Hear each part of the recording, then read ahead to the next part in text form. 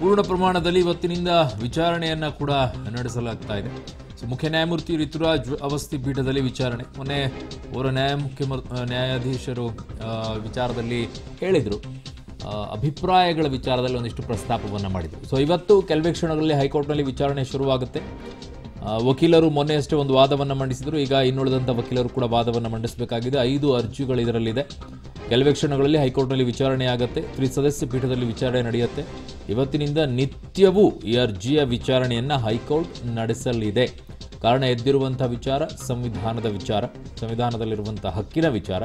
ಹಾಗಾಗಿ ಅದನ್ನೆಲ್ಲವನ್ನೂ ಕೂಡ ವಿಚಾರಣೆ ಮಾಡಬೇಕಾಗಿದೆ ಸುದೀರ್ಘವಾಗಿ ಅಂತ ಹೇಳಿ ಗುರುವಾರದ ವಿಚಾರಣೆಯಲ್ಲಿ ಮಧ್ಯಂತರ ಆದೇಶವನ್ನು ಹೈಕೋರ್ಟ್ ನೀಡಿತ್ತು.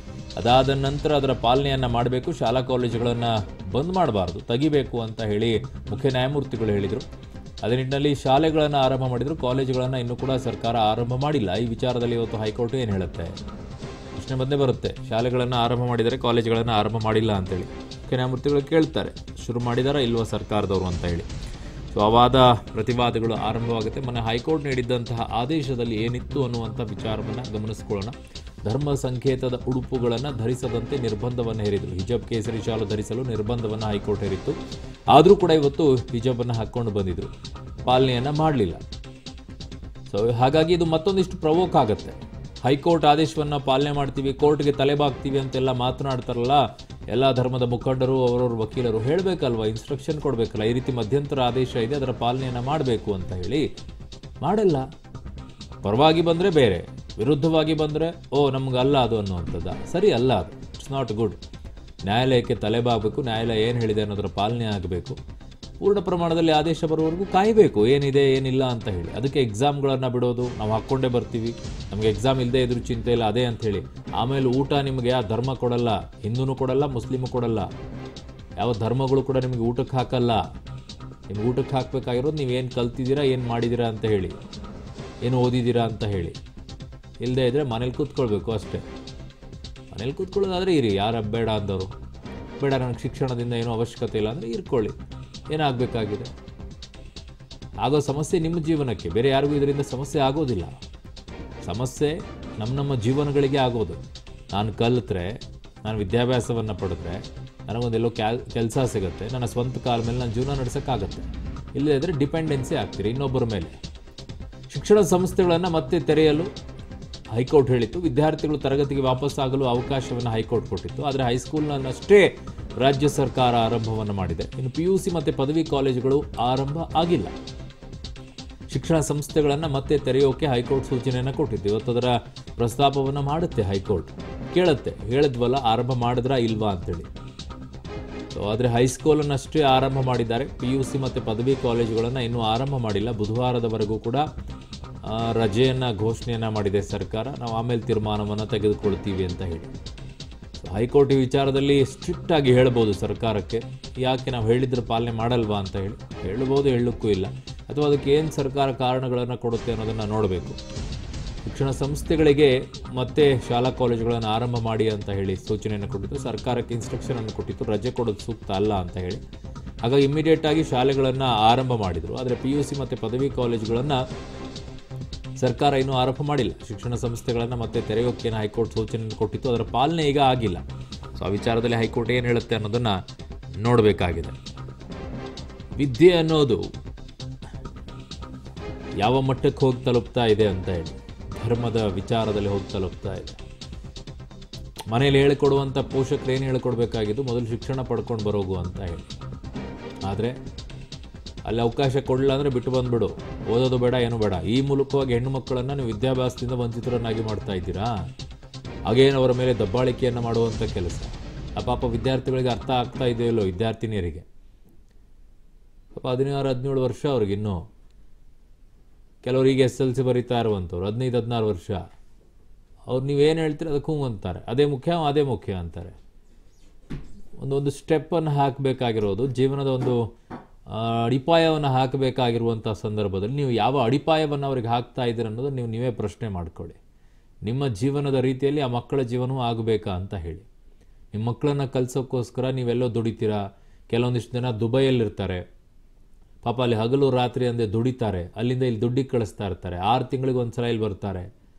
ಇಲ್ಲೆಲ್ಲೋ ಕೂಲಿ ಕೆಲಸ ಮಾಡ್ತಾರೆ. ಮಕ್ಕಳನ್ನು ಓದಿಸ್ಬೇಕು ಅಂತಾರೆ. ಆದರೆ ಇಂತಹ ವಿಚಾರಗಳು ಬಂದಾಗ ಓದೋದು ಬೇಡ ಬಿಡು. ಸರಿನಾ ಇದು? ನಿಮ್ಮ ಮಕ್ಕಳ ಭವಿಷ್ಯವನ್ನು ನೋಡ್ಕೊಳ್ಳಿ. ನಿಮಗಾದಂಥ ಪರಿಸ್ಥಿತಿಗಳು ಆ ಮಕ್ಕಳಿಗಾಗೋದು ಬೇಡ. ನಿಮಗೆ ಕಲಿಯೋಕ್ಕಾಗದೇ ಇದ್ದಂಥ ಪರಿಸ್ಥಿತಿಯಲ್ಲಿ ನೀವಿದ್ರಿ, ಬಟ್ ಆ ಮಕ್ಕಳಿಗೆ ಅವಕಾಶ ಇದೆ. ಕಲಿಸಕ್ಕೆ ಕೊಡಿ. ಆ ಕಟ್ಟುಪಾಡುಗಳನ್ನು ಯಾಕೆ ಹಾಕಿಡ್ತಾ ಇದ್ದೀರಾ? ಎಲ್ಲ ಧರ್ಮ, ಎಲ್ಲ ಜಾತಿಗಳಿಗೆ ಹೇಳ್ತಾ ಇದ್ದೀನಿ ನಾನು. ದಯವಿಟ್ಟು ಕಟ್ಟುಪಾಡುಗಳಿಂದ ಆಚೆ ಬನ್ನಿ, ಶಿಕ್ಷಣವನ್ನು ಪಡ್ಕೊಳ್ಳಿ. ವೆಲ್ ಎಜುಕೇಟೆಡ್ ಆಗಿ, ಶಿಕ್ಷಿತರಾಗಿ.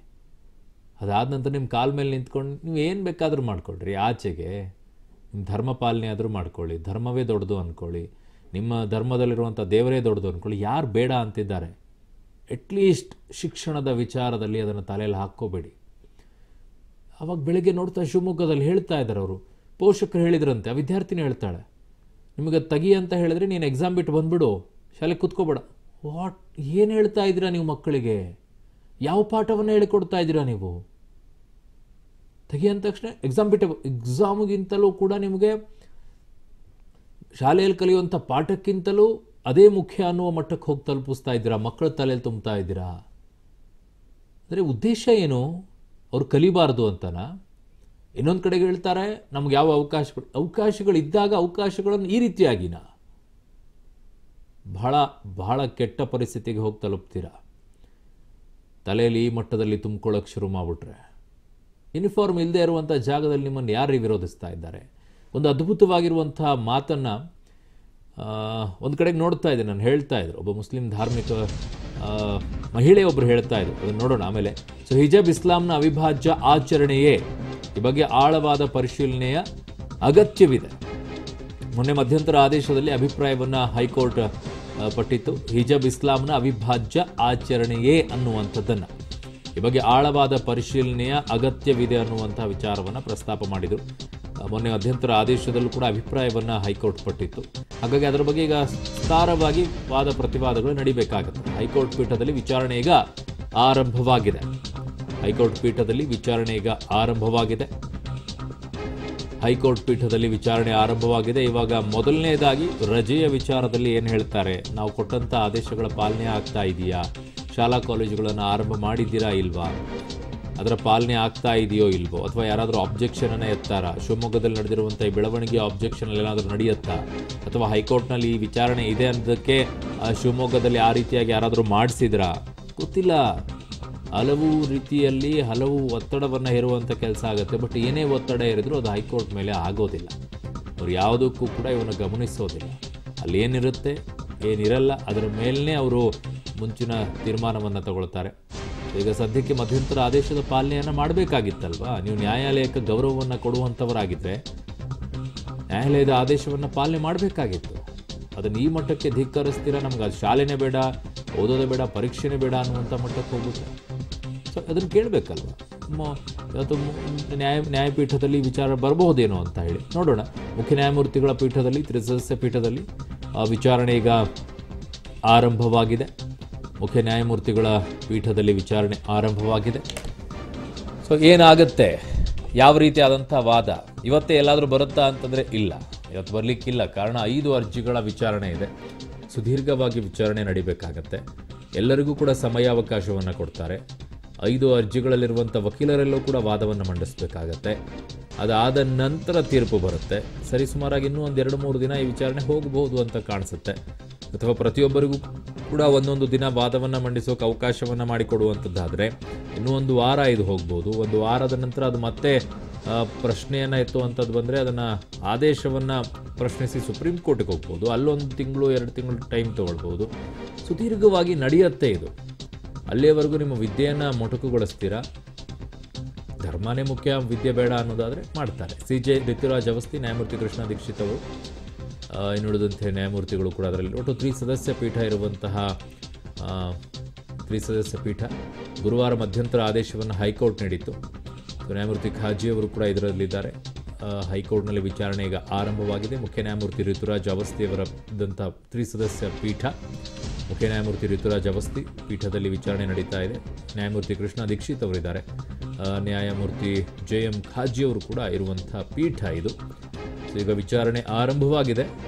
ಏನಾಗುತ್ತೆ ವಿಚಾರಣೆಯಲ್ಲಿ? ಯಾವ ರೀತಿಯಾದಂಥ ವಾದವನ್ನು ಮಂಡಿಸಲಾಗುತ್ತೆ ಅನ್ನೋದನ್ನು ನೋಡಬೇಕು. ಮೊನ್ನೆಯಷ್ಟೇ ಸಂಜಯ್ ಹೆಗ್ಡೆ ಅವರು ವಿಚಾರದಲ್ಲಿ ವಾದವನ್ನು ಮಂಡನೆಯನ್ನು ಮಾಡಿದರು. ಅರ್ಜಿದಾರರ ಪರವಾಗಿ ಅವರು ವಾದನ ಮಂಡನೆಯನ್ನು ಮಾಡಿದರು. ಇನ್ನುಳಿದಂಥ ವಕೀಲರು ಕೂಡ ವಾದವನ್ನು ಮಣ್ಣೆ ಮಾಡಬೇಕಾಗಿದೆ. ಸರ್ಕಾರದ ಪರವಾಗಿ ಅಡ್ವೊಕೇಟ್ ಜನರಲ್ ಈ ವಿಚಾರದಲ್ಲಿ ವಾದವನ್ನು ಮಾಡ್ತಾರೆ. ಅದೇ ರೀತಿಯಾಗಿ ಇನ್ನು ಅಡು ನ್ಯಾಯಮೂ ನ್ಯಾಯವಾದಿಗಳಾಗಿರುವಂತಹ ಕಾಮತ್ ಅವರು ಕೂಡ ವಾದವನ್ನು ಮಂಡಿಸಬೇಕಾಗಿದೆ ಅರ್ಜಿದಾರ ಪರವಾಗಿ. ಒಟ್ಟು ಐದು ಅರ್ಜಿಗಳ ವಿಚಾರಣೆ ಇದರಲ್ಲಿ ನಡೀಬೇಕಾಗಿದೆ. ಸೊ ಅಲ್ಲಲ್ಲಿ ಅವಕಾಶವನ್ನು ಮಾಡಿಕೊಡ್ತಾರೆ. ಅಲ್ಲಲ್ಲಿ ಒಂದಿಷ್ಟು ಅಭಿಪ್ರಾಯಗಳು ಕೂಡ ವ್ಯಕ್ತವಾಗುತ್ತೆ.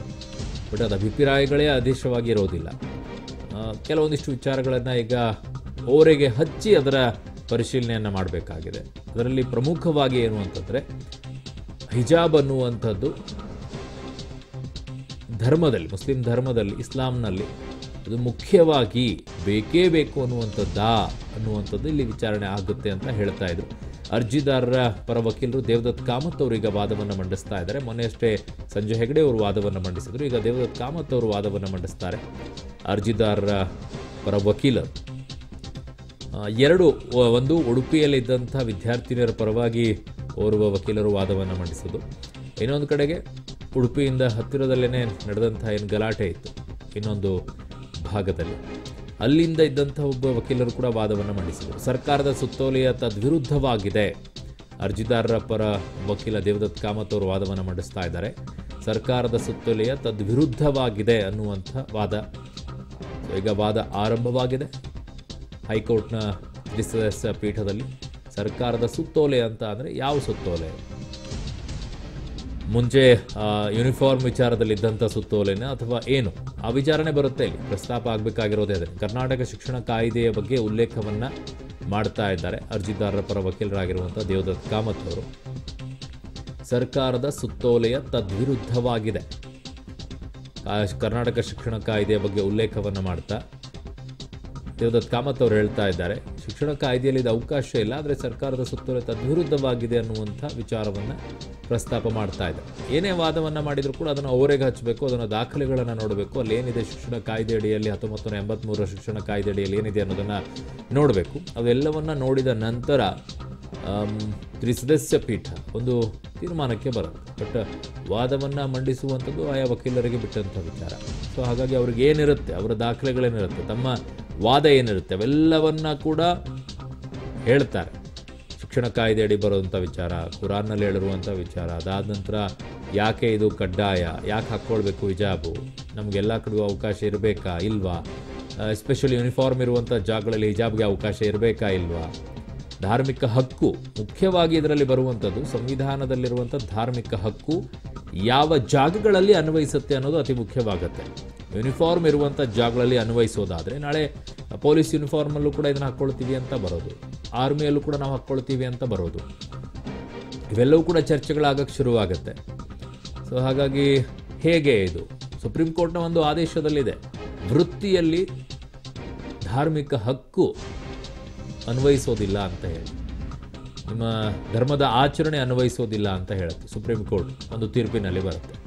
ಒಂದು ನರ್ಸ್ ಅವ್ರು ಕೇಳ್ತಾರೆ, ನಮಗೆ ಹಜಾಬ್ ಹಾಕೊಳ್ಳೋಕೆ ಅವಕಾಶ ಮಾಡಿಕೊಡ್ಬೇಕು ಅಂತ ಕೇಳ್ತಾರೆ. ಇಲ್ಲ, ವೃತ್ತಿಯಲ್ಲಿ ಅದರ ನಿಮಗೆ ಅವಕಾಶ ಇಲ್ಲ ಅಂತ ಹೇಳ್ತಾರೆ ಅದಕ್ಕೆ.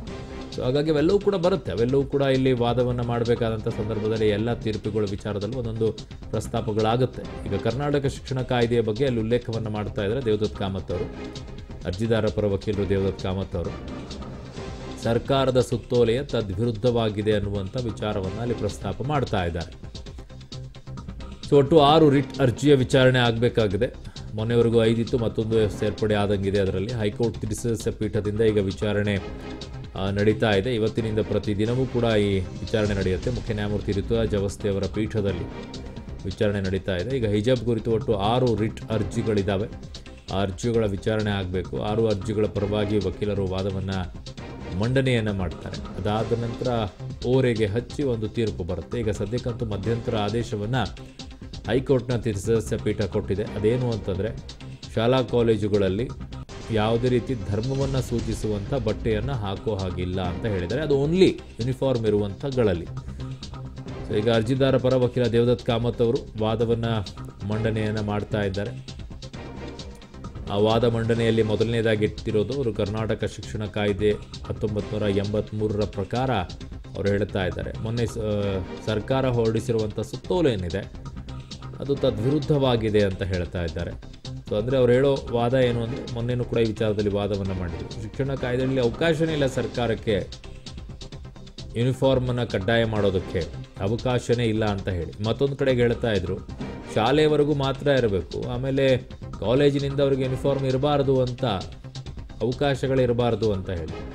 ಸೊ ವಿದ್ಯಾರ್ಥಿಗಳ ಹಿಜಬ್ಗೆ ಕಾನೂನಾತ್ಮಕ ರಕ್ಷಣೆ ಇಲ್ಲ ಅಂತ ಸರ್ಕಾರ ಹೇಳಿದೆ. ಅರ್ಜಿದಾರರ ಪರ ವಕೀಲ ದೇವದೂತ್ ಕಾಮತ್ ಅವರು ವಾದ ಮಂಡನೆ ಮಾಡ್ತಾ. ವಿದ್ಯಾರ್ಥಿಗಳ ಹಿಜಬ್ಗೆ ಕಾನೂನಾತ್ಮಕ ರಕ್ಷಣೆ ಇಲ್ಲ ಅಂತ ಸರ್ಕಾರ ಹೇಳಿದೆ. ಇದು ಸರಿಯಲ್ಲ ಇದು ಅನ್ನುವಂಥ ವಾದವನ್ನು ಅವರು ಮಂಡನೆ ಮಾಡ್ತಾ ಇದ್ದಾರೆ, ದೇವದತ್ ಕಾಮತ್ ಅವರು ಹಿಜಬ್ಗೆ ಕಾನೂನಾತ್ಮಕ ರಕ್ಷಣೆ ಇಲ್ಲ ಅಂತ ಹೇಳಿ. ಸೊ ಅರ್ಜಿದಾರರ ಪರ ವಕೀಲ ದೇವದತ್ ಕಾಮತ್ ಅವರು ವಾದವನ್ನು ಮಂಡಿಸ್ತಾ ಇದ್ದಾರೆ. ಸೊ ಈಗ ಗುರುವಾರ ಮಧ್ಯಂತರ ಆದೇಶವನ್ನು ನೀಡಿದಂಥ ಹೈಕೋರ್ಟ್ ಇವತ್ತಿನಿಂದ ದೀರ್ಘವಾಗಿ ವಿಚಾರಣೆಯನ್ನು ಕೈಗೆತ್ತಿಕೊಂಡಿದೆ. ಇವತ್ತಿನ ವಾದ ಪ್ರತಿವಾದಗಳು ಏನು ಅನ್ನೋದನ್ನು ಗಮನಿಸೋಣ. ಈಗಷ್ಟೇ ಆರಂಭವಾಗಿದೆ. ಸರ್ಕಾರದ ಸುತ್ತೋಲೇನಿದೆ ಅದು ತದ್ವಿರುದ್ಧವಾಗಿದೆ. ಕರ್ನಾಟಕ ಶಿಕ್ಷಣ ಕಾಯ್ದೆ ಬಗ್ಗೆ ಉಲ್ಲೇಖವನ್ನು ಮಾಡ್ತಾ ಅವರು ಈ ಮಾತನ್ನು ಹೇಳ್ತಾ ಇದ್ದಾರೆ. ಅರ್ಜಿದಾರರ ಪರ ವಕೀಲರಾಗಿರುವಂಥ ದೇವದತ್ ಕಾಮತ್ ಅವರು. ಶಿಕ್ಷಣ ಕಾಯ್ದೆ ಅಡಿ ಏನು ಹೇಳುತ್ತೆ ಅನ್ನುವಂಥ ವಿಚಾರ ಇಲ್ಲಿ ಬರುತ್ತೆ. ಕರ್ನಾಟಕ ಶಿಕ್ಷಣ ಕಾಯ್ದೆ ಹತ್ತೊಂಬತ್ತು ನೂರ ಎಂಬತ್ತ್ಮೂರು ಏನು ಅವಕಾಶ ಇದೆ? ಕಾನೂನಾತ್ಮಕ ರಕ್ಷಣೆ ಇಲ್ಲ ಅಂತ ಸರ್ಕಾರ ಏನು ಹೇಳಿದೆ ಸರಿಯಲ್ಲ. ಹಿಜಬ್ ಧರಿಸೋದು ಧಾರ್ಮಿಕ ಹಕ್ಕು ಅಲ್ಲ ಅನ್ನೋದು ತಪ್ಪು ಅದು. ಅನ್ನೋ ಮಾತನ್ನು ದೇವದತ್ ಕಾಮತ್ ಅವರು ವಾದವನ್ನು ಮಂಡಿಸ್ತಾ ಹೇಳ್ತಾ ಇದ್ದಾರೆ. ವಿದ್ಯಾರ್ಥಿಗಳ ಹಿಜಬ್ಗೆ ಕಾನೂನಾತ್ಮಕ ರಕ್ಷಣೆ ಇಲ್ಲ ಅಂತ ಸರ್ಕಾರ ಹೇಳಿದೆ. ಹಿಜಬ್ ಧರಿಸೋದು ಧಾರ್ಮಿಕ ಹಕ್ಕು ಅಲ್ಲ ಅನ್ನೋದು ತಪ್ಪು ಇದು ಅಂತ ದೇವದತ್ ಕಾಮತ್ ಅವರು ಅರ್ಜಿದಾರ ಪರ ವಕೀಲರು ವಾದವನ್ನು ಮಂಡಿಸ್ತಾ ಇದ್ದಾರೆ. ತಪ್ಪು ಸರಿ ಅನ್ನುವಂಥದ್ದನ್ನು ನ್ಯಾಯಮೂರ್ತಿಗಳು ನಿರ್ಧಾರ ಮಾಡ್ತಾರೆ. ಇವರು ವಾದವನ್ನು ಮಂಡಿಸುವಂಥ ಸಂದರ್ಭದಲ್ಲಿ ಅದು ತಪ್ಪು ಅನ್ನುವಂಥದ್ದನ್ನು ಹೇಳ್ತಾ ಇದ್ದಾರೆ. ಅದಕ್ಕೆ ಅವಕಾಶ ಇದೆಯಾ ಅಲ್ಲ ಅನ್ನೋದು ಅತಿ ಮುಖ್ಯ ಅಲ್ವಾ? ಅದಾದ ನಂತರ ಇವೆಲ್ಲ ಪ್ರಶ್ನೆಗಳು ಬರುತ್ತೆ. ಧಾರ್ಮಿಕ ಹಕ್ಕು, ಯೂನಿಫಾರ್ಮ್ ಇರುವಂಥ ಜಾಗಗಳಲ್ಲಿ ಅದಕ್ಕೆ ಅವಕಾಶ ಇದೆಯಾ ಅನ್ನುವಂಥದ್ದು ಮೊದಲನೇದಾಗಿ ಇತ್ಯರ್ಥ ಆಗಬೇಕು. ಅದಾದ ನಂತರನೇ ವಕೀಲರು ಹೇಳಿರುವಂಥ ದೇವದತ್ ಕಾಮತರು ಹೇಳ್ತಾ ಇರೋವಂಥದ್ದು ಅವಾಗ ಒಪ್ಕೊಳ್ಬೋದು. ಈಗ ಮೊದಲನೇದಾಗಿ ಆಗಬೇಕಾಗಿರುವಂಥದ್ದು ಸಂವಿಧಾನದ ಧಾರ್ಮಿಕ ಹಕ್ಕೇನಿದೆ. ಅದು ಯೂನಿಫಾರ್ಮ್ನಲ್ಲೂ ಕೂಡ ಈ ಪಾಲನೆ ಆಗೋದಕ್ಕೆ ಅವಕಾಶ ಇದೆಯಾ ಅನ್ನುವಂಥದ್ದು ಇತ್ಯರ್ಥ ಆಗಬೇಕಾಗಿದೆ. ಎಲ್ಲಿ ಧಾರ್ಮಿಕ ಹಕ್ಕನ್ನು ನಾನು ಪ್ರಯೋಗ ಮಾಡಬಹುದು ಯೂನಿಫಾರ್ಮ್ ಇರುವಂಥ ಜಾಗದಲ್ಲೂ ಕೂಡ ವಸ್ತ್ರ ಸಂಹಿತೆಯನ್ನು ನಾನು ಧಿಕ್ಕರಿಸಿ ನನ್ನ ಧರ್ಮದ ಪಾಲನೆಯನ್ನು ಮಾಡ್ತೀನಿ ಅನ್ನುವಂಥದ್ದಾದರೆ ಇನ್ನುಳಿದಂಥವ್ರು ಬರೋಕ್ಕೆ ಶುರು ಮಾಡ್ತಾರೆ. ನಾಳೆ ಎಲ್ಲರೂ ಕೂಡ ಅಲ್ಲೇ ಬರೋಕ್ಕೆ ಶುರು ಮಾಡ್ತಾರೆ. ಸೊ ಕೆಲವೊಂದಿಷ್ಟು ವಿಚಾರಗಳು, ಈಗ ಬಾಗಲಕೋಟೆಯಲ್ಲಿ ಒಂದು ಮೊನ್ನೆ ಅಷ್ಟೇ ಆಯ್ತಾ ಇತ್ತು. ಏನು, ಶಾಲೆಯಲ್ಲೇ ನಮಾಜ್ ಮಾಡೋಕ್ಕೆ ಶುರು ಮಾಡಿದರು. ಅದು ಪ್ರಸ್ತಾಪ ಆಗುತ್ತೇನೋ ಗೊತ್ತಿಲ್ಲ. ಅದೊಂದು ವಿಡಿಯೋ ಕೂಡ ಹೊರಗಡೆ ಬಂದಿತ್ತು. ಅದನ್ನು ಮಾಡಿಸಿದ್ರು, ಉದ್ದೇಶಪೂರ್ವಕ ಮಾಡಿಸಿದ್ರು, ಗೊತ್ತಿಲ್ಲ. ಇವೆಲ್ಲವೂ ಕೂಡ ಅಲ್ಲಲ್ಲೇ ವಾದಗಳು ಬರುತ್ತೆ. ಬಟ್ ಈಗ ಸದ್ಯಕ್ಕೆ ಇಲ್ಲಿ ಕೋರ್ಟ್ನಲ್ಲಿ ಇತ್ಯರ್ಥ ಆಗಬೇಕಾಗಿರುವಂಥ ವಿಚಾರ ಏನು ಅಂತಂದರೆ, ಸಂವಿಧಾನದಲ್ಲಿರುವಂಥ ಧಾರ್ಮಿಕ ಹಕ್ಕು, ವಸ್ತ್ರ ಸಂಹಿತೆ ಇರುವಂಥ ಜಾಗಗಳಲ್ಲಿ ಯೂನಿಫಾರ್ಮ್ ಇರುವಂಥ ಜಾಗಗಳಲ್ಲಿ ಅದನ್ನು ಅವಕಾಶ ಇದೆಯಾ ಇಲ್ವಾ ಅನ್ನೋದು ಇತ್ಯರ್ಥ ಆಗಬೇಕಾಗಿದೆ. ಸೊ ಈಗ ಕರ್ನಾಟಕ ಶಿಕ್ಷಣ ಕಾಯ್ದೆ ಹತ್ತೊಂಬತ್ತು ನೂರ ಪ್ರಕಾರ ಸರ್ಕಾರ ಏನು ಮಾಡಿದೆ? ಶಿಕ್ಷಣ ಇಲಾಖೆ ಯಾವ ರೀತಿಯಾಗಿ ತಗೊಂಡಿದೆ? ಯೂನಿಫಾರ್ಮ್ ಇದೆಯಾ ಇಲ್ವಾ? ಎಲ್ಲ ಯೂನಿಫಾರ್ಮ್ ಇದೆಯಾ ಇಲ್ವಾ? ಯೂನಿಫಾರ್ಮ್ ಇರುವಂಥ ಜಾಗಗಳಲ್ಲಿ ಇದಕ್ಕೆ ಅವಕಾಶ ಇದೆಯಾ ಇಲ್ವಾ? ಇವೆಲ್ಲವೂ ಕೂಡ ಈಗ ಇತ್ಯರ್ಥ ಆಗಬೇಕು. ಸಾರ್ವಜನಿಕ ಸುವ್ಯವಸ್ಥೆ ಸರ್ಕಾರದ ಹೊಣೆ. ಕಾಲೇಜು ಸಮಿತಿ ಮೂಲಭೂತ ಹಕ್ಕುಗಳ ಬಗ್ಗೆ ನಿರ್ಧರಿಸುತ್ತೆ. ಹೀಗಾಗಿ ಸರ್ಕಾರದ ಆದೇಶವೇ ತಪ್ಪು ಅನ್ನುವಂಥದ್ದನ್ನು ವಾದ ಮಂಡ ಮಾಡ್ತಾ ಇದ್ದಾರೆ ದೇವದತ್ತ ಕಾಮತ್ ಅವರು, ಅರ್ಜಿದಾರರ ಪರ ವಕೀಲರು. ಈಗ ಅವರು ವಾದವನ್ನು ಮಂಡಿಸ್ತಾ ಇದ್ದಾರೆ. ಹಿಜಬ್ ಧರಿಸೋದು ಧಾರ್ಮಿಕ ಹಕ್ಕು ಅಲ್ಲ ಅಂತೇಳಿ ಸರ್ಕಾರ ಹೇಳ್ತಾ ಇದೆ, ಅದು ತಪ್ಪು. ಹಿಜಬ್ ಧರಿಸಬಾರದು ಎಂಬ ಸರ್ಕಾರದ ಆದೇಶ ಕಾನೂನು ಬಾಹಿರ. ಸಾರ್ವಜನಿಕ ಸುವ್ಯವಸ್ಥೆ ಕಾರಣವನ್ನು ಕೊಟ್ಟು ಆದೇಶ ಹೊರಡಿಸೋದು ಸರಿಯಲ್ಲ. ಸಾರ್ವಜನಿಕ ಸುವ್ಯವಸ್ಥೆ ಸರ್ಕಾರದ ಹೊಣೆ ಅಂತ ಹೇಳಿದ್ದಾರೆ. ಕಾಲೇಜು ಸಮಿತಿ ಮೂಲಭೂತ ಹಕ್ಕುಗಳ ಬಗ್ಗೆ ನಿರ್ಧರಿಸುತ್ತೆ ಅಂತ. ಹೀಗಾಗಿ ಸರ್ಕಾರದ ಆದೇಶವೇ ತಪ್ಪು ಅಂತ ಹೇಳಿದ್ದಾರೆ. ಸಾರ್ವಜನಿಕ ಸುವ್ಯವಸ್ಥೆಯನ್ನು ಕಾಪಾಡುವಂಥದ್ದು ಸರ್ಕಾರದ ಹೊಣೆ ಅನ್ನುವಂಥದ್ದಾದರೆ ಪಾಲನೆ ಮಾಡುವಂಥದ್ದು ಎಲ್ಲ ಧರ್ಮ, ಎಲ್ಲ ಜಾತಿಗಳದ್ದು ಜವಾಬ್ದಾರಿ ಅಲ್ವಾ? ಆ ಪ್ರಶ್ನೆ ಇನ್ನೊಂದು ಕಡೆಗೆ ಎದ್ದೇಳತ್ತೆ. ವಾದ ಮಂಡಿಸ್ತಾ ಇದ್ದಾರೆ. ನ್ಯಾಯಮೂರ್ತಿಗಳು ಹೇಗೆ ಇದನ್ನು ಕನ್ಸಿಡರ್ ಮಾಡ್ತಾರೆ, ಏನು ಮಾಡ್ತಾರೆ ಅನ್ನೋದನ್ನು ನೋಡಬೇಕು. ಕಾಯ್ತಾ ಇದ್ದಾರೆ. ಎಲ್ಲರೂ ಕೂಡ ಇಡೀ ದೇಶವೇ ಈ ಕಡೆಗೆ ತಿರುಗಿ ನೋಡ್ತಾ ಇದೆ. ಎಸ್ಪೆಷಲಿ ಸುಪ್ರೀಂ ಕೋರ್ಟ್ನ ಮುಖ್ಯ ನ್ಯಾಯಮೂರ್ತಿಗಳು ಕೂಡ ಮೊನ್ನೆ ಈ ವಿಚಾರದಲ್ಲಿ ಬಂದಾಗ ನೀವು ಬೇಗ ಈ ವಿಚಾರಣೆ ನೀವತ್ತೆ ಕೈಗೊತ್ತಿಕೊಳ್ಳಿ ಅಂದಾಗ ಅವ್ರು ಹೇಳಿದ್ದಾರೆ, ನಾವು ಅಬ್ಸರ್ವ್ ಮಾಡ್ತಾ ಇದ್ವಿ ಹೈಕೋರ್ಟ್ನ ನಡೀತಾ ಇರುವಂಥ ಅದನ್ನು ಗಮನಿಸ್ತಾ ಇದ್ದೀವಿ ಅಂತ ಹೇಳಿದ್ದಾರೆ. ಧಾರ್ಮಿಕ ಹಕ್ಕುಗಳಿಗೆ ನಿರ್ಬಂಧ ಇದೆಯೋ ಇಲ್ವಾ ಎನ್ನುವುದೇ ಈಗ ಪ್ರಶ್ನೆ, ಮುಖ್ಯ ನ್ಯಾಯಮೂರ್ತಿಗಳು ಕೇಳ್ತಾ ಇದ್ದಾರೆ. ಧಾರ್ಮಿಕ ಹಕ್ಕುಗಳಿಗೆ ನಿರ್ಬಂಧ ಇದೆಯಾ ಇಲ್ವಾ ಅನ್ನೋದೇ ಈಗ ಮುಖ್ಯವಾಗಿರುವಂಥ ಪ್ರಶ್ನೆ ಎಕ್ಸಾಕ್ಟ್ಲಿ ಸಂವಿಧಾನದಲ್ಲಿ ಧಾರ್ಮಿಕ ಹಕ್ಕಿಗೆ ಅವಕಾಶ ಇದೆ ಬಟ್ ಅದಕ್ಕೆ ನಿರ್ಬಂಧ ಇದೆಯಾ ಇಲ್ವಾ ಅನ್ನೋದೇ ಪ್ರಶ್ನೆ, ಧಾರ್ಮಿಕ ಹಕ್ಕುಗಳಿಗೆ ನಿರ್ಬಂಧ ಇದೆಯಾ ಇಲ್ವಾ ಎನ್ನುವುದೇ ಈಗ ಪ್ರಶ್ನೆ. ಮುಖ್ಯ ನ್ಯಾಯಮೂರ್ತಿಗಳು ತಮ್ಮ ಒಂದು ಪ್ರಶ್ನೆಯನ್ನು ಕೇಳಿದ್ದಾರೆ, ತಮ್ಮ ಕಮೆಂಟನ್ನು ಕೂಡ ಅದರಲ್ಲಿ ಹಾಕಿದ್ದಾರೆ. ಅವ್ರು ಕೇಳ್ತಾರೆ ಆ ವಿಚಾರದಲ್ಲಿ ಕೇಳ್ತಾ ಹಲವು ಮಾಹಿತಿಗಳನ್ನು ಪಡ್ಕೊಳ್ತಾ ಇರ್ತಾರೆ. ಧಾರ್ಮಿಕ ಹಕ್ಕುಗಳಿಗೆ ನಿರ್ಬಂಧ ಇದೆಯೋ ಇಲ್ವಾ ಎನ್ನುವುದೇ ಈಗ ಇರುವಂತಹ ಪ್ರಶ್ನೆ ಅಂತ ಮುಖ್ಯ ನ್ಯಾಯಮೂರ್ತಿಗಳು ಹೇಳಿದ್ದಾರೆ. ಅದು ವಾದ ಆಗಬೇಕು, ವಾದ ಪ್ರತಿವಾದಗಳಾಗಬೇಕು, ಅದೆಲ್ಲವನ್ನು ಓರೆಗೆ ಹಚ್ಚಿ ಆಮೇಲೆ ಅದಕ್ಕೆ ಉತ್ತರಗಳನ್ನು ಕಂಡುಕೊಳ್ಬೇಕು. ಸಂವಿಧಾನದಲ್ಲಿ ಏನು ಅವಕಾಶ ಇದೆ ಏನಿಲ್ಲ ಅಂತ ಹೇಳಿ. ಧಾರ್ಮಿಕ ಹಕ್ಕು ಪರಮೋಚ್ಛವೇ. ಓಕೆ, ಸಾರ್ವಜನಿಕ ಸುವ್ಯವಸ್ಥೆ ಕಾರಣ ಕೊಟ್ಟು ಈ ಹಕ್ಕನ್ನು ನಿರ್ಬಂಧಿಸುವಂತಿಲ್ಲ ಅಂತ ಹೇಳಿದ್ದಾರೆ. ಸರ್ಕಾರದ ಆದೇಶದಲ್ಲಿ ಸಾರ್ವಜನಿಕ ಸುವ್ಯವಸ್ಥೆ ಕಾರಣ ಕೊಡಲಾಗಿದೆ. ಧಾರ್ಮಿಕ ಹಕ್ಕುಗಳಿಗೆ ನಿರ್ಬಂಧ ಇದೆಯಾ ಇಲ್ವಾ ಅನ್ನೋದು ಈಗ ಪ್ರಶ್ನೆ ಅಂತ ಮುಖ್ಯ ನ್ಯಾಯಮೂರ್ತಿಗಳು. ಧಾರ್ಮಿಕ ಹಕ್ಕು ಪರಮೋಚ್ಛವೇ ಅನ್ನುವಂಥದ್ದನ್ನು ಈಗ ಮುಖ್ಯ ನ್ಯಾಯಮೂರ್ತಿಗಳು ಕೇಳ್ತಾ ಇದ್ದಾರೆ. ಅದೇ ಅಂತಿಮನಾ ಅಥವಾ ಸಂವಿಧಾನನ? ನೋಡಬೇಕು ಈಗ ಸಂವಿಧಾನದಲ್ಲಿರುವಂಥ ಧಾರ್ಮಿಕ ಹಕ್ಕು ಪರಮೋಚ್ಛವೇ ಅನ್ನುವಂಥ ಪ್ರಶ್ನೆಯನ್ನು ಕೇಳ್ತಾ ಇದ್ದಾರೆ. ಅದಕ್ಕೆ ವಾದ ಮತ್ತು ಪ್ರತಿವಾದಗಳು ನಡೆಯುತ್ತೆ. ಸೊ ಈ ಮೂಲಕವಾಗಿ ಒಂದಿಷ್ಟು ಓರೆಗೆ ಹಚ್ಚುವಂಥ ಕೆಲಸವನ್ನು ಮಾಡ್ತಾರೆ. ಈ ತೀರ್ಪು ಬರಬೇಕಾಗಿದೆ. ಸಾರ್ವಜನಿಕ ಸುವ್ಯವಸ್ಥೆ ಕಾರಣ ಕೊಟ್ಟು ಹಕ್ಕನ್ನು ನಿರ್ಬಂಧಿಸುವಂತಿಲ್ಲ ಅಂತ ಸುಪ್ರೀಂ ಕೋರ್ಟ್ ಹೇಳಿದೆ. ಆದರೆ ಇಲ್ಲಿ ಸರ್ಕಾರ ಹಾಗೆ ಮಾಡಿದೆ ಅಂತ ವಕೀಲರು ಹೇಳ್ತಾ ಇದ್ದಾರೆ. ಸಾರ್ವಜನಿಕ ಸುವ್ಯವಸ್ಥೆ ಕಾರಣ ಕೊಟ್ಟು ಈ ಹಕ್ಕನ್ನು ನಿರ್ಬಂಧಿಸುವಂತಿಲ್ಲ ಅರ್ಜಿದಾರ ಪರ ವಕೀಲರು. ಸಾರ್ವಜನಿಕ ಆದೇಶದಲ್ಲಿ, ಸರ್ಕಾರದ ಆದೇಶದಲ್ಲಿ ಸಾರ್ವಜನಿಕ ಸುವ್ಯವಸ್ಥೆ ಕಾರಣವನ್ನು ಕೊಡಲಾಗಿದೆ. ಹೀಗೆ ಕೊಟ್ಟು ಈ ರೀತಿಯಾಗಿ ಮಾಡೋ ಹಾಗಿಲ್ಲ ಅಂತ ಹೇಳಿದ್ದಾರೆ. ಸಾರ್ವಜನಿಕ ಸುವ್ಯವಸ್ಥೆ ಕಾಪಾಡೋದು ಸರ್ಕಾರದ ಹೊಣೆ. ಪಾಲನೆ ಮಾಡೋದು ನಮ್ಮ ಜವಾಬ್ದಾರಿ. ಸೊ ಅರ್ಜಿದಾರರ ಪರ ವಕೀಲರು ಹೇಳ್ತಾ ಇದ್ದಾರೆ, ಸುವ್ಯವಸ್ಥೆಯನ್ನು ಕಾಪಾಡೋದು ಸರ್ಕಾರದ ಹೊಣೆ. ಯಾವಾಗ ಹೊಣೆ ಆಗುತ್ತೆ? ನಾವು ಪಾಲನೆ ಮಾಡಿದರೆ ತಾನೇ ಅದನ್ನು ಸರಿಯಾಗಿಡೋಕ್ಕಾಗತ್ತೆ ನಾವೇ ಪಾಲನೆ ಮಾಡದಿದ್ದಾಗ ನೀವು ಸಹ ವ್ಯವಸ್ಥೆ ಕಾಪಾಡಿ ಕಾಪಾಡಿ ಅಂದರೆ ಹೇಗೆ ಸಾಧ್ಯ? ಸೊ ಗೊತ್ತಿಲ್ಲ. ಈಗ ಅವರು ವಾದವನ್ನು ಮಂಡಿಸ್ತಾ ಇದ್ದಾರೆ. ಅರ್ಜಿದಾರರ ಪರ ವಕೀಲರು. ಸೊ ರಸ್ತೆಯಲ್ಲಿ ಹೋಗ್ತಾ ಇರಬೇಕಾದ್ರೆ ನನ್ನನ್ನು ತಡೆಯಲು ಸಾಧ್ಯವೇ? ಸಾರ್ವಜನಿಕ ಸುವ್ಯವಸ್ಥೆ ಕಾಪಾಡಲು ಸರ್ಕಾರದ ಹೊಣೆ, ಅರ್ಜಿದಾರ ಪರ ವಕೀಲರು. ರಸ್ತೆಯಲ್ಲಿ ಹೋಗುತ್ತಿರಬೇಕಾದ್ರೆ ನನ್ನನ್ನು ತಡೆಯಲು ಸಾಧ್ಯವೇ? ಇಲ್ಲ, ಅವಕಾಶ ಇಲ್ಲ ಅದಕ್ಕೆ. ತಡೆಯೋಕೆ. ಯಾರಾದರೂ ನಿಲ್ಲಿಸೋಕ್ಕಾಗುತ್ತಾ? ರಸ್ತೆಯಲ್ಲಿ ಹೋಗ್ತಾ ಇರಬೇಕಾದ್ರೆ ನನ್ನನ್ನು ತಡೆಯೋಕೆ ಸಾಧ್ಯವೇ? ಈಗ ವಾದ ಪ್ರತಿವಾದಗಳು ನಡೀತಾ ಇದೆ. ಯಾರು ಕೇಳ್ತಾ ಇದ್ದಾರೆ ಇದನ್ನು? ನೋಡೋಣ. ಬರುತ್ತೆ. ಸಾರ್ವಜನಿಕ ಸುವ್ಯವಸ್ಥೆಯ ಪ್ರಶ್ನೆಗೆ ಸಂಬಂಧಿಸಿದ್ದೇ ಮುಖ್ಯ ನ್ಯಾಯಮೂರ್ತಿಗಳು ಈಗ ಪ್ರಶ್ನೆಯನ್ನು ಎತ್ತಿದ್ದಾರೆ. ರಸ್ತೆಯಲ್ಲಿ ಹೋಗುತ್ತಿರಬೇಕಾದ್ರೆ ನನ್ನನ್ನು ತಡೆಯಲು ಸಾಧ್ಯವೇ? ಸಾರ್ವಜನಿಕ ಸುವ್ಯವಸ್ಥೆಯ ಪ್ರಶ್ನೆಗೆ ಸಂಬಂಧಿಸಿದ್ದೇ ಅಂತ ಮುಖ್ಯ ನ್ಯಾಯಮೂರ್ತಿಗಳು ಒಂದು ಪ್ರಶ್ನೆಯನ್ನು ಎತ್ತಿದ್ದಾರೆ. ಸೊ, ವಾದವನ್ನು ಮಾಡಬೇಕಾದಂಥ ಸಂದರ್ಭದಲ್ಲಿ ಕೆಲವೊಂದಿಷ್ಟು ವಿಚಾರಗಳು ಬಂದಾಗ ಅದನ್ನು ಓರೆಗೆ ಹಚ್ಚುವಂಥ ಸಂದರ್ಭಗಳು ಬಂದಾಗ ನ್ಯಾಯಮೂರ್ತಿಗಳು ಈ ರೀತಿಯಾಗಿ ಪ್ರಶ್ನೆಗಳನ್ನು ಕೇಳ್ತಾರೆ. ಒಂದಿಷ್ಟು ಮಾಹಿತಿಗಳನ್ನು ಅದರಿಂದ ಪಡ್ಕೊಳ್ಳುವಂತಹ ಪ್ರಯತ್ನವನ್ನು ಮಾಡ್ತಾ ಇರ್ತಾರೆ. ಹಾಗೆ ಇಲ್ಲಿ ನಡೀತಾ ಇದೆ. ರಸ್ತೆಯಲ್ಲಿ ಹೋಗ್ತಾ ಇರಬೇಕಾದ್ರೆ ನನ್ನ ತಡೆಯೋಕ್ಕೆ ಸಾಧ್ಯನಾ? ಸಾರ್ವಜನಿಕ ಸುವ್ಯವಸ್ಥೆಯ ಪ್ರಶ್ನೆಗೆ ಸಂಬಂಧಿಸಿದ್ದೆ ಅಂತ ಮುಖ್ಯ ನ್ಯಾಯಮೂರ್ತಿಗಳು ಪ್ರಶ್ನೆ ಮಾಡ್ತಾ ಇದ್ದಾರೆ. ಸೊ ಈಗ ಒಂದು ಕಡೆಗೆ ಸಾರ್ವಜನಿಕ ಕಾಪಾಡೋದು ಸರ್ಕಾರದ ಹೊಣೆ ಅಂತ ಹೇಳಿ.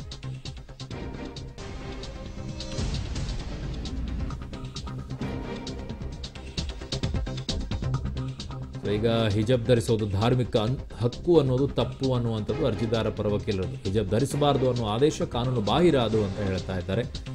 ಯಾವ ಜಾಗದಲ್ಲಿ ಧರಿಸಬಾರ್ದು ಅನ್ನೋದು ಆದೇಶ ವಿರುದ್ಧ ಅಂತ ಹೇಳ್ಬೋದು. ಅದು ಇತ್ಯರ್ಥ ಆದಮೇಲೆ ಅದು ಗೊತ್ತಾಗುತ್ತೆ. ಈಗ ಸರ್ಕಾರದ ಆದೇಶ ಧಾರ್ಮಿಕ ಹಕ್ಕನ್ನು ನಿರ್ಬಂಧಿಸಿದೆಯಾ? ಸರ್ಕಾರದ ಆದೇಶ ಧಾರ್ಮಿಕ ಹಕ್ಕನ್ನು ನಿರ್ಬಂಧಿಸಿದೆಯೇ ಅನ್ನುವಂಥದ್ದು ಮುಖ್ಯ ನ್ಯಾಯಮೂರ್ತಿಗಳ ಪ್ರಶ್ನೆ. ನಿರ್ಬಂಧಿಸಿದೆಯೇ? ಇಲ್ಲ ನಿರ್ಬಂಧಿಸಿಲ್ಲ. ಅವು ಕೊಠಡಿಯ ಒಳಗಡೆಗೆ ಅವಕಾಶ ಇದೆಯಾ ಇಲ್ಲ ಅನ್ನೋದು ಮತ್ತೊಂದು ಪ್ರಶ್ನೆ ಬರುತ್ತೆ ಅದರಲ್ಲಿ. ಧಾರ್ಮಿಕ ಹಕ್ಕು ಯೂನಿಫಾರ್ಮ್ ಇರುವಂಥ ಜಾಗದಲ್ಲಿ ಅದರ ಪಾಲನೆಗೆ ಅವಕಾಶ ಇದೆಯಾ ಇಲ್ವಾ ಅಂತ. ಸಾರ್ವಜನಿಕ ಸುವ್ಯವಸ್ಥೆ ಕಾರಣ ಕೊಟ್ಟು ಸಮುದಾಯದ ಹಕ್ಕನ್ನು ನಿರ್ಬಂಧಿಸಲಾಗದು. ಈಗ ಸರ್ಕಾರದ ಆದೇಶ ಏನಿದೆ ಧಾರ್ಮಿಕ ಹಕ್ಕನ್ನು ಕಿತ್ಕೊಂಡಿದೆಯಾ ಅಂತ ಕೇಳ್ತಾ ಇದ್ದಾರೆ. ಸರ್ಕಾರದ ಆದೇಶ ಧಾರ್ಮಿಕ ಹಕ್ಕಿನ ಉಲ್ಲಂಘನೆ ಅಂತ ಹೇಳಿದ್ದಾರೆ ಅರ್ಜಿದಾರರು. ಈಗ ಸರ್ಕಾರದ ಆದೇಶ ಧಾರ್ಮಿಕ ಹಕ್ಕಿನ ಉಲ್ಲಂಘನೆ ಆಗುವುದಾದರೆ ಈಗ ಮುಖ್ಯವಾಗಿರಬೇಕಾಗಿರುವಂಥದ್ದು ಯೂನಿಫಾರ್ಮ್ ಇರುವಂಥ ಜಾಗಗಳಲ್ಲಿ ಇದರ ಅವಕಾಶ ಇದೆಯಾ? ಧಾರ್ಮಿಕ ಹಕ್ಕಲ್ಲಿ ಅವಕಾಶ ಮಾಡಿಕೊಡುತ್ತಾ ಅನ್ನೋದು. ಈಗ ಈ ಪ್ರಶ್ನೆಗಳು ಉದ್ಭವ ಆಗ್ತಾ ಇದೆ. ನೋಡೋಣ ಏನಾಗತ್ತೆ ಅಂತ ಹೇಳಿ. ಸಾರ್ವಜನಿಕ ಸುವ್ಯವಸ್ಥೆಯ ಕಾರಣವನ್ನು ಕೊಟ್ಟು ಈ ರೀತಿಯಾಗಿ ನಿರ್ಬಂಧವನ್ನು ಹೇರೋದು ಸರಿಯಲ್ಲ. ಸುಪ್ರೀಂ ಕೋರ್ಟ್ ಹೇಳುತ್ತೆ ಈ ರೀತಿಯಾಗಿ ಆದೇಶವನ್ನು ಕೊಡೋದು ಸರಿಯಲ್ಲ ಅಂತ ಹೇಳಿ ಸಮುದಾಯದ ಹಕ್ಕನ್ನು ನಿರ್ಬಂಧಿಸಲಾಗದು. ಸುಪ್ರೀಂ ಕೋರ್ಟ್ ಹೇಳುತ್ತೆ, ಸಾರ್ವಜನಿಕ ಸುವ್ಯವಸ್ಥೆಯ ಕಾರಣವನ್ನು ಕೊಟ್ಟು ನೀವು ಧಾರ್ಮಿಕ ಹಕ್ಕನ್ನು ನಿರ್ಬಂಧಿಸುವಂಥದ್ದು ಇಲ್ಲ ಅವಕಾಶ, ನಿರ್ಬಂಧಿಸಲಾಗದು ಅಂತ ಸುಪ್ರೀಂ ಕೋರ್ಟ್ ಕೂಡ ಹೇಳಿದೆ. ಅನ್ನುವಂಥ ವಾದವನ್ನು ಅರ್ಜಿದಾರರ ಪರ ವಕೀಲರಾಗಿರುವಂಥ ದೇವದತ್ ಕಾಮತ್ ಅವರು ಹೇಳ್ತಾ ಇದ್ದಾರೆ. ಸೊ, ಈಗ ಸರ್ಕಾರದ ಆದೇಶ ಧಾರ್ಮಿಕ ಹಕ್ಕನ್ನು ನಿರ್ಬಂಧಿಸಿದೆಯೇ ಅನ್ನುವಂಥದ್ದನ್ನು ಮುಖ್ಯ ನ್ಯಾಯಮೂರ್ತಿಗಳು ಪ್ರಶ್ನೆಯನ್ನು ಕೇಳ್ತಾ ಇದ್ದಾರೆ. ಈಗ ಮುಖ್ಯ ನ್ಯಾಯಮೂರ್ತಿ ಋತುರಾಜ್ ಅವಸ್ಥಿ ಅವರ ಪೀಠದಲ್ಲಿ ವಿಚಾರಣೆ ನಡೀತಾ ಇದೆ. ತ್ರಿಸದಸ್ಯ ಪೀಠ. ಸೊ ಈ ಪೀಠದಲ್ಲಿ ಈಗ ವಾದ ಪ್ರತಿವಾದಗಳು ನಡೀತಾ ಇದೆ. ಮೊದಲನೇದಾಗಿ ವಿಚಾರ ಬಂದಾಗ ಮೊನ್ನೆಯಷ್ಟೇ ಸಂಜಯ್ ಹೆಗಡೆ ಅವರು ಹೇಳ್ತಾ ಇದ್ದಿದ್ದು, ಶಾಲೆಯವರೆಗೂ ಮಾತ್ರ ಇನ್ಫಾರ್ಮ್ ಇರಬೇಕು. ಅದಾದ ನಂತರ ಕಾಲೇಜಿಗೆ ಇನ್ಫಾರ್ಮೇ ಇರಬಾರ್ದು ಅನ್ನುವಂಥ ಅವ್ರ ವಾದ ಆಗಿತ್ತು. ಇವತ್ತು ಯೋಧತ್ ಕಾಮತ್ ಅವರು ವಾದವನ್ನು ಮಂಡಿಸ್ತಾ ಹೇಳ್ತಾ ಇದ್ದಾರೆ ಸರ್ಕಾರ ಆದೇಶ ಏನಿದೆ, ಅದು ಸರ್ಕಾರದ ಆದೇಶ ಈ ರೀತಿಯಾಗಿ ಹತ್ತಿಕ್ಕುವಂಥ ಕೆಲಸ ಮಾಡಬಾರ್ದು. ಸಾರ್ವಜನಿಕ ಸುವ್ಯವಸ್ಥೆಯ ಕಾರಣವನ್ನು ಕೊಟ್ಟು ನಮ್ಮ ಹಕ್ಕನ್ನು ಕಿತ್ಕೊಳ್ಳಾಗ್ತಾ ಇದೆ, ನಮ್ಮ ಕಕ್ಷಿದಾರರ ಪರವ ಹಕ್ಕನ್ನು ಕಿತ್ಕೊಳ್ತಾ ಇದ್ದಾರೆ. ಇದು ಧಾರ್ಮಿಕ ಉಲ್ಲಂಘನೆ ಇದು ಅನ್ನುವಂಥದ್ದನ್ನು ಹೇಳ್ತಾ ಇದ್ದಾರೆ. ಸೊ ಅದಕ್ಕೆ ನ್ಯಾಯಮೂರ್ತಿಗಳು ಕೂಡ ಒಂದಿಷ್ಟು ಪ್ರಶ್ನೆಗಳನ್ನು ಕೇಳಿದ್ದಾರೆ. ಅದರಲ್ಲಿ ಸರ್ಕಾರದ ಆದೇಶ ಧಾರ್ಮಿಕ ಹಕ್ಕನ್ನು ನಿರ್ಬಂಧಿಸಿದೆಯೇ ಅಂತ ಕೇಳಿದ್ದಾರೆ. ಸಾರ್ವಜನಿಕ ಸುವ್ಯವಸ್ಥೆ ಕಾರಣ ಕೊಟ್ಟು ಸಮುದಾಯದ ಹಕ್ಕನ್ನು ನಿರ್ಬಂಧಿಸಲಾಗದು ಅಂತ ಅರ್ಜಿದಾರ ಪರ ವಕೀಲರು. ಸೊ, ವಾದ ಪ್ರತಿವಾದಗಳು ಈಗ ಮುಂದುವರೆದಿದೆ. ಹಿಜಾಬ್ ಧರಿಸುವುದು ಮೂಲಭೂತ ಆಚರಣೆ ಅಲ್ಲ ಅಂತ ಸರ್ಕಾರ ಹೇಳ್ತಾ ಇದೆ. ಆ ರೀತಿಯಾಗಿ ಹೇಳೋಕ್ಕಾಗೋದಿಲ್ಲ. ಮೂಲಭೂತ ಹಕ್ಕು ಅಂತ ನ್ಯಾ, ನ್ಯಾಯವಾದಿಗಳು, ಅಂದರೆ ವಕೀಲರು ಹೇಳ್ತಾ ಇದ್ದಾರೆ. ಈಗ ಓರೆಗೆ ಹಚ್ಚುವಂಥ ಕೆಲಸವನ್ನು ಮಾಡಬೇಕು. ಇನ್ನೂ ಒಟ್ಟು ಆರು ರಿಟ್ ಪಿಟಿಷನ್ ಇದೆ. ಆರು ಅರ್ಜಿಗಳಿದೆ. ಅದರಲ್ಲಿ ಈಗ ಎರಡನೇ ಅರ್ಜಿದಾರ ಪರ ವಕೀಲರು ಈಗ ವಾದವನ್ನು ಮಂಡಿಸ್ತಾ ಇದ್ದಾರೆ.